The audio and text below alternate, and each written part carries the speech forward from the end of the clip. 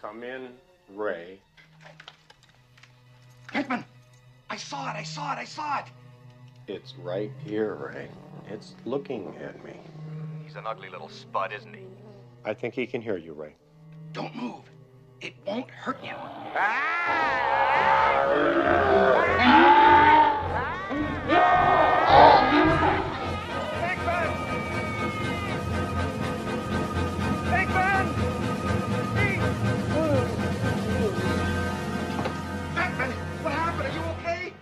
slime me.